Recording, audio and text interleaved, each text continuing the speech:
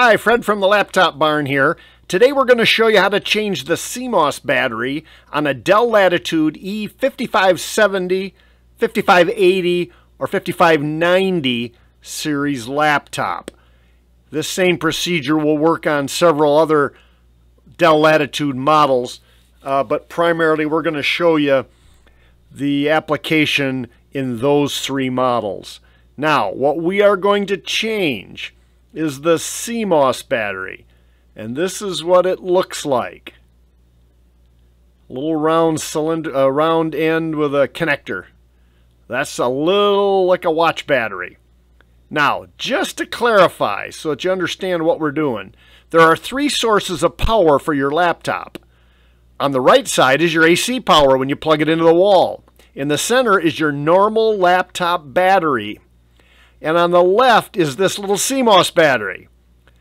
The purpose of that CMOS battery is to apply power to the motherboard and system setup when the regular battery and the AC power are not on. In other words, you're not plugged into the wall with your AC power and your battery, your main battery has gone dead. When that happens, the only way the laptop can retain its memory which one of the functions is the date and the time is through a charge held in that little CMOS battery. That's its only function.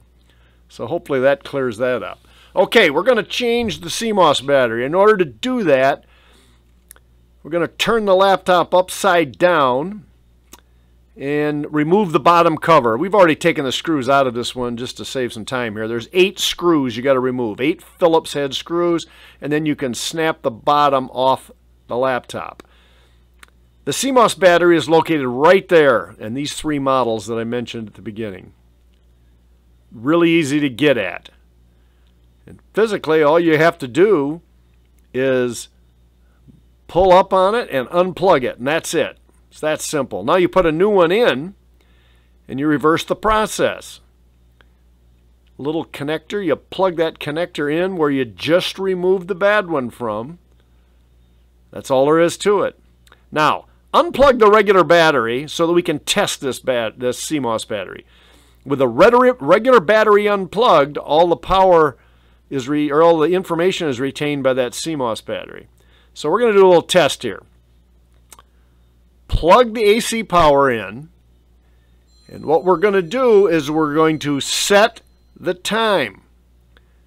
We're going to set the time with that uh, with the um, power plugged in, the bat the regular batteries disconnected. We're going to set the time in BIOS. So we turned it on, hit the F2 key to get into system setup.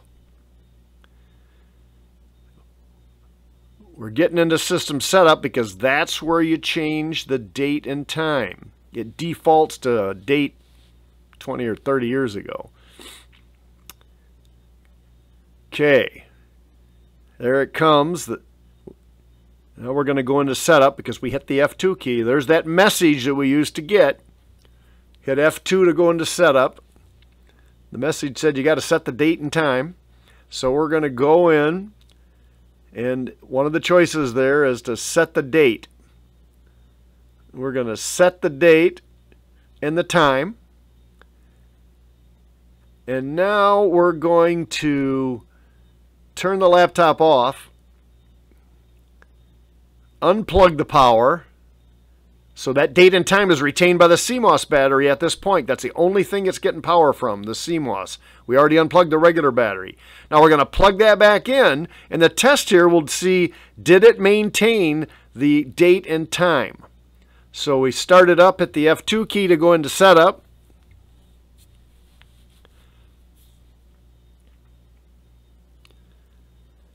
And if we're if we have a good CMOS battery, the date should still be there.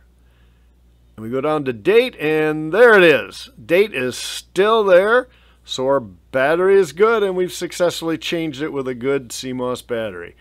So all that's left to do now is to turn it over, take the cover off, and plug the regular battery back in, because we're all done now. We're going to get her back into operational mode. Just push the connector on. And then, then we're going to put the bottom cover on, assemble the eight screws, and you're good to go. That's all there is to it. You heard it here. Fred from the Laptop Barn. If you like this, hit the like button. If you have any comments for future videos you'd like to see on our channel, leave them below. Thanks for watching.